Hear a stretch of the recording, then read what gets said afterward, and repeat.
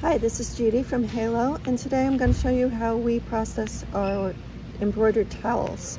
Um, what I did was I used this 3 mil Badgemaster uh, plastic that for a backer. Now this dissolves in warm water, so we use this as a backer, Solvy as a topper, and embroidered, and then removed as much of this as we could and then soaked it in warm water to get rid of the remainder of the backer. And then we um, put them in the dryer. Now what we need to do is replace the little clip that was originally on the towel. And we're just going to bag them folded in half like this. Thanks for watching.